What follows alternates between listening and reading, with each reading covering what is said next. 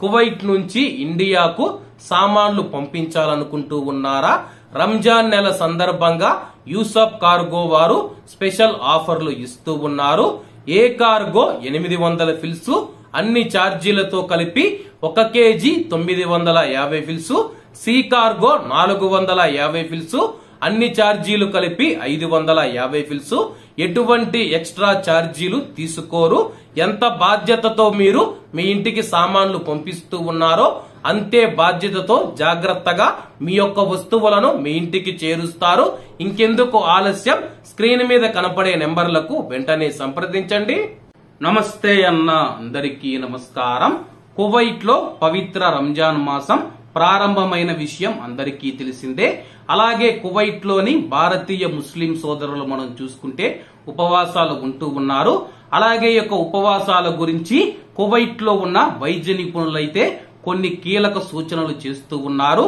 ముఖ్యంగా BP sugar ఉన్నవారు ఎవరైతే ఉన్నారో సంబంధిత వైద్యుణ్ణి సంప్రదించి అలాగే మీకు షుగర్ కాని ఉంటే ఉపవాసం ఉండాలా వద్దా అని చెప్పేసి డాక్టర్ దగ్గరికి వెళ్ళి సలహా తీసుకున్న తర్వాత ఉపవాసం గురించి నిర్ణయం తీసుకోవాలని చెప్పి అలాగే చాలా మంది దీర్ఘకాలిక వ్యాధులతో కూడా బాధపడుతూ ఉంటారు.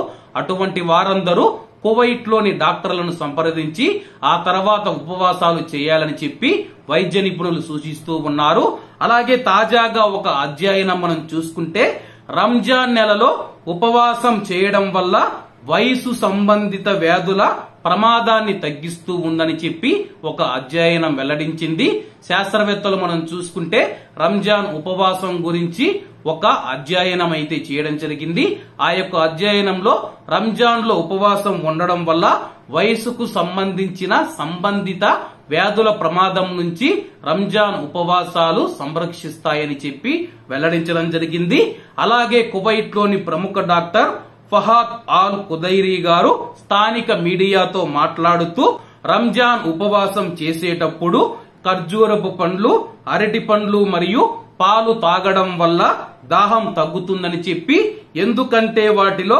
పొటాషియం శాతం ఎక్కువగా ఉంటుంది కాబట్టి దాహం వేయదు. అలాగే ఫాస్ట్ ఫుడ్ విషయానికి వస్తే ఇందులో సోడియం ఎక్కువగా ఉంటుంది కాబట్టి దాహాన్ని పెంచుతూ ఉంది.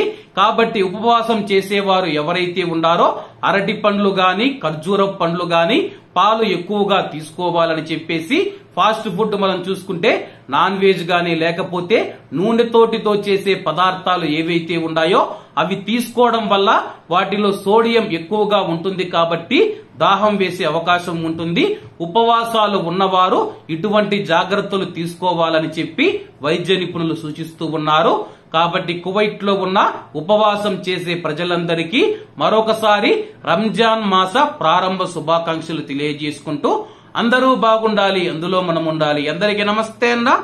జై హింద్.